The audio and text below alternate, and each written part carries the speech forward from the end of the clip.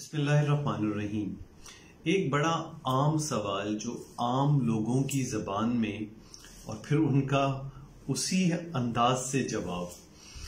वो क्या सवाल है कि अक्सर एंजियोप्लास्टी में हम लोगों को स्टेंट एडवाइस करते हैं, स्टेंट लगाए जाते हैं। तो एक सवाल होता है कि डॉक्टर साहब, इस स्टेंट की लाइफ कितनी है? ये कब तक चलेगा?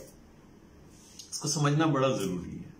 अक्सर लोग समझते हैं शायद ये कुछ लाइफ होती है, उसके बाद खत्म हो जाता है उसको दोबारा निकालना पड़ता है। तो ऐसा कुछ नहीं है।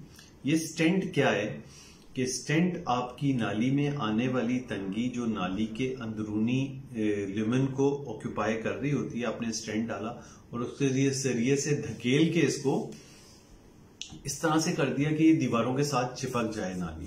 अब ये स्टेंट आपकी नाली का आहिस्ते आहिस्ते हिस्सा बन जाता है। क्योंकि ये स्टेंट इंतहाई पतली सी धात होती है जिसको स्टेनलेस स्टील या क्रोमियम कोबाल्ट इससे वो बनता है। और इसकी, यानी पतली, इतनी पतली होती है कि ये बस छल्ला जो होता है वो जब फैलाया जाता है तो ये नाली की दीवारों के साथ ऐसे चिपक जाता है कि फिर इसकी वो तह नाली की अंदरूनी इसको कवर कर लेती है और ये फिर नाली का ही पार्ट बन जाता है पूरा सर्कुलर वे में। तो इसकी कोई लाइफ वाइफ का मामला नहीं है। हाँ आपने इस स्टेंट लगने के बाद अपनी एक्सरसाइज अपनी डाइट अपनी शुगर अपना ब्लड प्रेशर अपनी स्मोक इन तमाम चीज़ों का ख्याल नहीं रखा। तो वो जो बीमारी जिसको हमने धक्का देके इसके पीछे भेजा था, वो दोबारा भी आ सकती है इसके अंदर। वो चीज़ होती है कि इसके अंदर दोबारा तंगी का वापस आ जाना।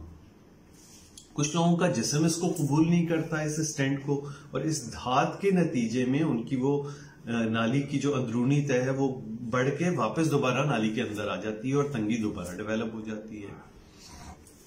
कुछ लोगों में ये स्टेंट बिल्कुल ठीक रहता है, बीमारी इसके आगे या पीछे या किसी और नाली में आ जाती है, जो फिर दोबारा अलामतों का सबब बन सकती है। तो इस बात को समझ लीजिए कि ये जो एनजीओ स्टेंट लगता है, इसकी लाइफ वाला मामला नहीं होता। इसके अंदर दोबारा तंगी आ सकती है, इसके आसपास तंगी आ सकती है, और हो सकता है इसके बाद आपको कभी किसी प्रोसीजर की ज़रूरत ना रहे। आपकी बाकी नालियाँ भी डिज़ीज़ फ्री रहे और ये भी डिज़ीज़ फ्री रहे।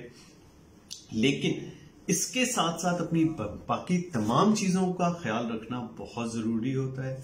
शुगर कंट्रोल रहे, ब्लड प्रेशर कंट्रोल रहे, तमाम चीज़ें उसी तरह करनी है जैसे इससे पहले करते थे। इसने वक्त ही आपकी अलामतों को काबू कर दिया। उम्मीद है कि समझ में आएगा। जजाकल्ला बहुत बहुत